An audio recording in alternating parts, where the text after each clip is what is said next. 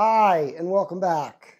So today, I've disassembled the Holiday Train engine, moved things around, because what I'm going to do is I'm going to do a mod. And the mod is this pretty awesome piece. So what this is, is from, it is compatible with power functions, as you can see by the plug, okay?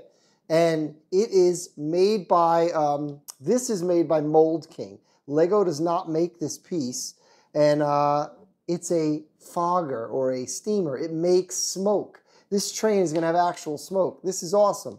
Um, so I'm going to mod this. Now it's pretty big. It's uh, five by four uh, bricks, which is kind of on the large size. Uh, what I like about this is it's not a DIY solution because again, it's compatible with power functions. And I'm going to hook this on top of the constant power from the power function receiver. So it's always smoking. And it just uses water. It came with this little pipette and you put water in the main stack. I originally thought you put water in this other hole, which was obviously a big mistake. I messed up. I don't know where the water went, but it was not smoking. And when I put it in here, it was smoking. So uh, we're going to build this in and uh, get it get it going. Um, I could put it on the second channel if I wanted, and then turn it on when I want it to smoke. But I think I just want it to smoke when it when it, you know, when it's on. So um, I was had come up with a way to build this uh, onto the train and still keep, you know, keep this, well, build it onto the train and uh, keep it looking decent as a train. So I, I just did a test I don't really have any kind of instructions how to do it because I kind of am winging this. But, you know, we're going to just see how, how, how it goes because I'm kind of winging it. So I am able to get the controls back in, which is nice. Um, so that's good. This is all secure. This goes here. And what I was doing was just clipping it on and then wrapping the wire up. Uh, and then the roof can fit on anyway with the wire kind of in there like like this, like that. Uh, actually, was I missing pieces here? Oh no, yeah, you got to wires on, and they're not that hard to get on. They go right on. Why isn't it? There you go. What happened to the other one? Here it is.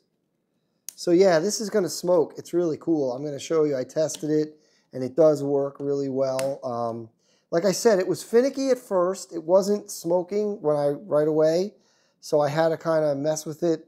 But what I'm going to do is just join these two, the power and the, so it'll smoke at all times. Now, the way I made it look kind of good is I put this on. I got to remember how I did all this. I think I did this here.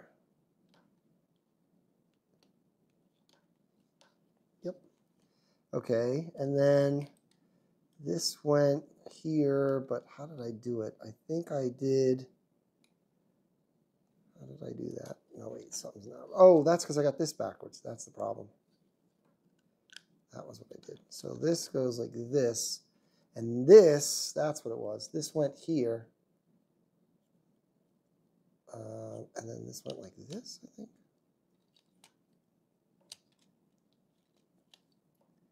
There we go.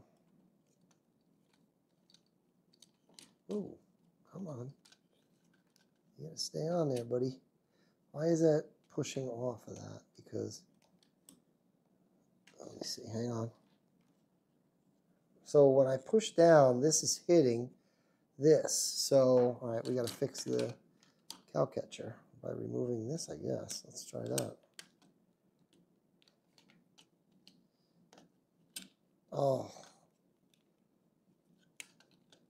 So this is very much a, you know, mod that I'm trying to make work. So it's, it's not perfect.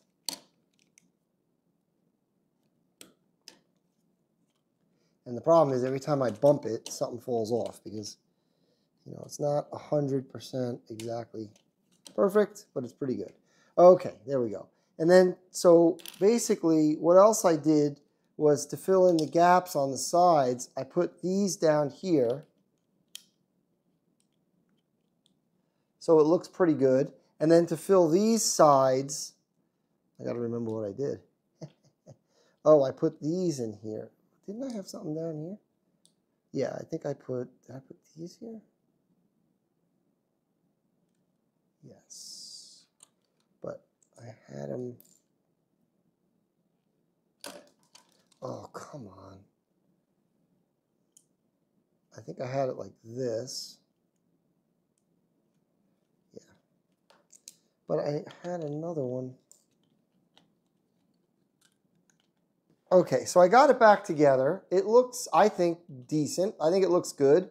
And then the only problem is the stack. Now, the problem is that this Mold King, um, the stack, the bricks don't really stay on it very well. So it's kind of like, like this whole thing can pop right off. This, the, uh, well, actually, these hold pretty good, but yeah, it's not perfect. It's definitely not perfect. Um, and I would like some like round pieces on here. But let me show you how it works. Let me um, bring the train around here. Hold on.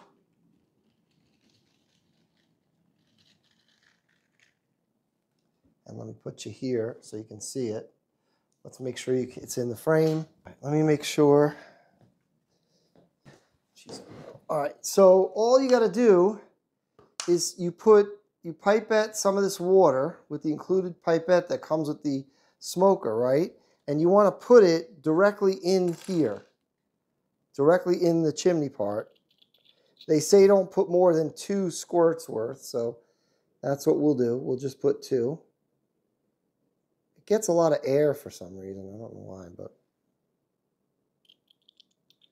Okay, so now, oops, so now if I turn power on to this, that should start smoking if it's working properly. I think it takes a second to warm up, but it, there we go. There we go. So I've put a black backdrop so you can easier see the smoke. It's easier for you to see the smoke, and I'm looping it. These are different trips around, not the same trip, but I'm editing it so you can see it. And here you can see, sometimes it stops and all of a sudden it'll start again. I got to fiddle with the smoker. Again, mine is a used one. I bet you if you got a new one, but this thing works great. It's pretty awesome. I mean, it makes some serious smoke. It looks awesome going around the track. You can see it real well in front of the black backdrop. I mean, you can see it anyway, but in the video. Yeah, it works pretty well. Thanks for watching. Thanks for subscribing, and we'll see you next time.